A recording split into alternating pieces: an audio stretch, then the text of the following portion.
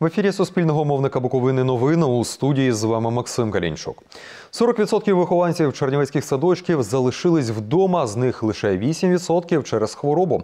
Про це у коментарі Суспільного Буковини сказав начальник міського управління освіти Сергій Мартинюк. Найбільше відсутніх 62 дітей у 29-му садочку. За словами директорки Жанни Том'як, лише 18 дітей залишилися вдома через хворобу. Ще вчора батьки, які забирали діток, попереджали вихователів, що сьогодні ми не прийдемо. У нас є можливість дитину потримати вдома. То я вважаю, що це пересторога, і пройде кілька днів, буквально день-два. Батьки заспокояться, побачать, що ситуація під контролем. Жанна Том'як каже, групи у садочку щодня дезінфікують, проводять кварцування, а дітей з ознаками ГРВІ одразу відправляють додому. Святкові ранки до 8 березня скасували. У міських школах ситуація з відвідуваністю краща. На уроки не з'явились 15% школярів. Більшість з них через ГРВІ, каже начальник міського управління освіти Сергій Мартинюк. Та цифра вона є е, дещо більшою, ніж е, звичайно, якась там середньостатистична. Зазвичай е, до 10% відсутні в школах, десь порядка 30% відсутні в садочках. Пішла якась така, не назовемо це паніка, але якась така зайва пересторога раз. Ну і по-друге, управління освіти видало наказ, де чітко рекомендує керівникам, чи верніше навіть наказує керівникам не допускати до навчально-виховного процесу дітей з першими ознаками простуди. За словами Сергія Мартинюка, зараз карантин вводити не будуть. Школи та садочку працюють у звичайному режимі. Сьогодні в інфекційному відділенні Чернівецької обласної клінічної лікарні ізолювали трьох людей з симптомами ГРВІ. Зараз їхні аналізи перевіряють на ГРВІ. У двох пацієнтів діагностували гострий бронхіт, у жінки правосторонню пневмонію.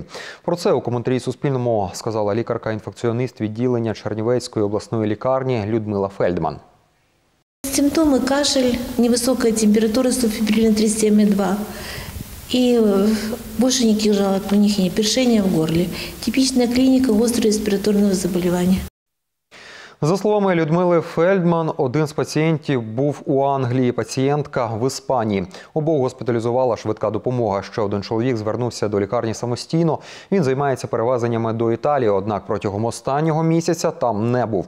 Госпіталізовані сказали в лікарні, що не контактували з людьми, інфікованими на коронавірус. У міністерстві охорони здоров'я України підготували поради, як вберегтися від інфікування коронавірусом. Пропонуємо переглянути його. Як знизити ризик інфікування новим типом коронавірусу? Уникайте контакту з людьми, у яких є ознаки температури та кашель. Правильно використовуйте медичні маски і засоби індивідуального захисту, особливо у медичних закладах. Мийте руки з водою і милом або дезінфікуйте засобом на основі спирту. Уникайте контакту із продуктами тваринництва, свійськими чи дикими тваринами, щоб запобігти передачі вірусу від них. Після контакту ретельно мийте руки а під час приготування ретельно обробляйте м'ясні продукти. Будьте здорові! У школі номер 38 запрацювала ліфтова платформа. Це перший ліфт, який встановили у загальноосвітньому навчальному закладі у Чернівцях.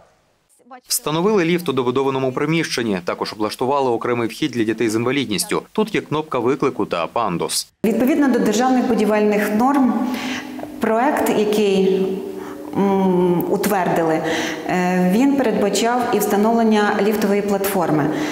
Це для того, щоб люди з обмеженими фізичними можливостями могли теж пересуватися і мали безбар'єрний доступ до приміщення, а діти мали можливість навчатися і на другому поверсі. Ліфтом зараз користується один учень 38-ї школи. Самокласник Олександр має ДЦП та відвідує індивідуальні заняття в школі. Ну, Раніше, коли він був малий, ми його носили на руках, але бачите, він вже росте, стає кишкий. І зараз нам дуже удобно, от ми можемо попасти в 7 Б у його клас. На другому поверсі. На другому поверсі. Пандус є, і ліфт є, так що ми можемо без нікого вже самі добиратися сюди, наверх.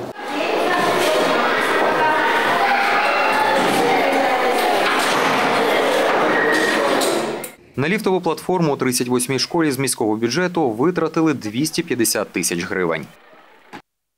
У Чернівцях презентували урядову програму Доступні кредити під 5, 7 та 9 відсотків. Програма запрацювала минулого місяця, за словами директора департаменту регіонального розвитку ОДА Віктора Подорожнього. За цей час кредит оформили 10 буковинців. Про умови кредитування дивіться далі. Ірина Дудут з півроку тому стала приватною підприємицею. Вона продає біодобавки. Каже, спробує отримати кредит за урядовою програмою. Мені дуже сподобалася ідея, то, що держава буде підтримувати е, малих, е, малих підприємців. Якщо банк піде на зустріч, чому ні? В Західній Україні ми тільки у нас е, регіональний центр обслуговування такий є тільки тут у Чернівцях. А рядом біля нас є ще Тернопіль, є Івано-Франківський, є Хмельницький недалеко. Да? От, так, ну, тому та, тут кажеться, можна робити бізнес е, не тільки локально.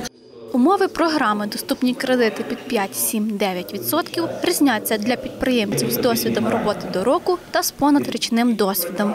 З держбюджету на програму виділили 2 мільярди гривень, каже консультант офісу програми Олександр Бабій. Півтора мільярда гривень це власне фонд для покриття різниці відсотків між 5, 7, 9 і тою ставкою, яка є фактично у банку. А 500 мільйонів гривень це фонд гарантування. Це для тих підприємців, уже і початківців, і діючих, які не мають достатнього обсягу е, ліквідної застави. Від програми вимога для існуючих підприємств е, вона тільки одна. Протягом останніх чотирьох кварталів ваше підприємство повинно бути прибутковим. Відсоток кредитування залежить від масштабу бізнесу. Для отримання кредиту потрібен бізнес-план та звіт про прибутковість, каже заступник директора Чернівецької філії Укргазбанку Віктор Мещеров. Державна програма передбачає кредитування на 5 років з можливістю встановлення пільгового періоду кредитування, а також банк пропонує індивідуальний графік погашення. Внесок підприємців в проект, на який беруть кредит, складає від 20 до 30 відсотків. В обласному центрі зайнятості можна отримати консультації з написання бізнес-плану, сказала його керівниця Любов Кожелянко. Оформити кредит можна у відділенні Приватбанку, Ощадбанку, Укрексімбанку, Укргазбанку та Кредобанку. Христина Тимофійчук, Сергій Льоткін, Роман Пилатик. Новини на Суспільному. На цьому випуск завершено. До зустрічі о 19 годині.